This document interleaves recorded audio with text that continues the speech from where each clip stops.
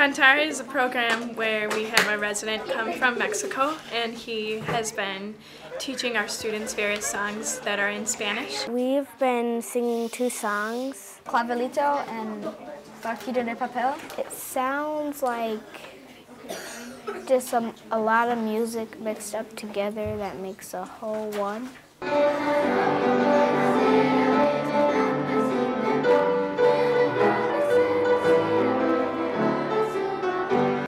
Met the three choirs, so I um, had the opportunity to know the level and their interests. We kind of just talked to her like what we like to do. We told her we're interested in doing hip hop songs, so she went and she composed a song that would like fit for us, but also like took in some of the Mexican culture along with it.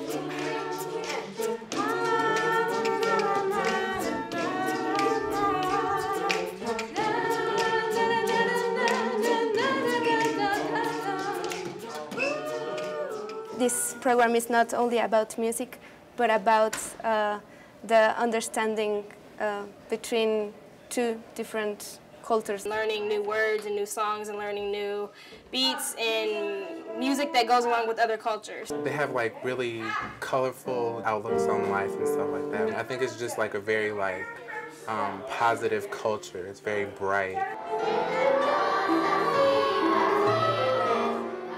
If you really let go and just sing, it feels fun and you feel like yourself.